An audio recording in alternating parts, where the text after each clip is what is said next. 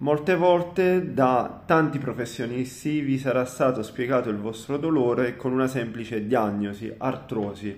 Semplicemente avevate mal di schiena e l'ortopedico vi avrà detto qui c'è una spondiloartrosi o eh, problemi al ginocchio, qui c'è una bella artrosi di ginocchio avanzata e, questo, e da questo è causato il tuo dolore. Ecco, c'è un errore in questo. A questo punto dovreste rigirare la domanda e chiedere perché allora non ho dolore a questo ginocchio da 20 anni? Perché l'osteoartrosi è un processo quasi fisiologico che accade di degenerazione che accade a carico delle cartilagini articolari. Ci sono molteplici motivazioni per cui accade questo processo, ci sono motivi ormonali, biomeccanici, Ehm, di sovraccarico nelle attività sportive e lavorative, ma questo è un processo che nella stragrande maggioranza dei casi inizia già verso il 34-35 anno di età e in alcuni casi anche prima. Perché quindi non avete dolore da 30, 30, dal trentesimo, 34 anno di età e poi si sviluppa di colpo, non so, a 60-70 anni? La realtà è semplicemente questa. No, mm, L'osteoartrosi di per sé non può causare dolore perché le cartilagini articolari, ebbene sì, vi do una notizia sorprendente che sanno tutti, in realtà è che le cartilagini articolari non sono innervate, ok? Quindi non potete provare dolore per l'osteoartrosi, altrimenti nasceremmo quasi col dolore e moriremmo col dolore se la cartilagine articolare fosse innervata, perché al minimo movimento un po' più eh, diciamo sovraccaricante, più brusco, avremmo dolore sempre, a prescindere dall'artrosi. Quindi la cartilagine articolare non è innervata. Ciò che invece può accadere è che in un'artrosi gli osteofiti, che sono delle strutture simili diciamo, a schegge di vetro, cartilagine che si formano con l'artrosi, vanno ad irritare una o più strutture sensibili al dolore. Ad esempio può essere una capsula articolare, può essere un legamento e quindi c'è in seguito a questo c'è infiammazione, può esserci versamento articolare, può esserci dolore. Quindi ciò che si deve andare a placare è l'infiammazione. Se questa infiammazione è, è associata ad un'instabilità articolare dovuta ad artrosi, si deve andare a compiere esercizio eh, terapeutico di stabilizzazione dell'articolazione attraverso l'attivazione di specifici muscoli. Semplicemente questo.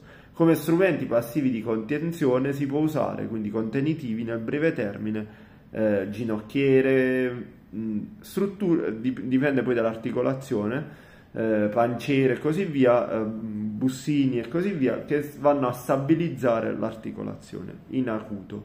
Semplicemente si può fare questo. L'ortopedico, il medico, chi per lui possono prescrivere, non il fisioterapista, perché il fisioterapista può e deve soltanto occuparsi di eh, mobilizzazioni, manipolazioni, esercizio terapeutico, terapia strumentale, diagnosi funzionale, cioè andare a valutare quali sono i gruppi muscolari deficitari o le articolazioni in disfunzione. Quindi l'ortopedico e il medico possono prescrivervi un antinfiammatorio e così via nella, in acuto. Però nessuno può dirvi il dolore è causato dall'artrosi, perché siccome l'artrosi non si risolve, significa che dovete avere dolore a vita. Detto questo, c'è da dire che ci sono maratoneti con severa osteoartrosi che ogni anno vanno a farsi la, la maratona di New York, quindi hanno le cartilagini del ginocchio completamente assottigliate, non hanno dolore, a dimostrazione di quello che sto dicendo e che in letteratura è risaputo. Perché è un errore mh, grande da parte degli ortopedici e dei medici o dei fisioterapisti dire al paziente hai dolore per l'osteoartrosi? Perché vanno a far crocenicizzare il dolore del paziente. Il paziente si sente fragile, inizia a dire non posso muovermi, l'assenza di movimento causa ulteriore dolore e così e si va avanti in questo modo qui. Altra bufala è che siccome la cartilagine è degenerata dovete muovervi il meno possibile o non caricarla. Si è visto negli studi che mm, diciamo andare a fornire leggero carico sull'articolazione favorisce parziali guarigioni della cartilagine stessa attraverso l'interposizione di tessuto connettivo e facilita una maggiore lubrificazione, cioè una maggiore di produzione di liquido sinoviale che aiuta l'ambiente, il microambiente a guarire. Quindi tutto il contrario di quello che vi dicono. Un tempo gli ortopedici negli anni 70-80 dicevano mamma mia inizia ad avere eh, osteoartrosi al ginocchio, non salire e scendere le scale. Tutte scemenze. Oggi la letteratura ha dimostrato questo, quindi fisioterapisti, medici, ortopedici, chiropratici, osteopati che vi dicono che a causa dell'artrosi non dovete, dovete limitare la vostra attività, stupidaggini, semplicemente questo. Queste sono un po' di bufale che ho, uh, che ho smascherato sull'osteoartrosi. Ciao ciao!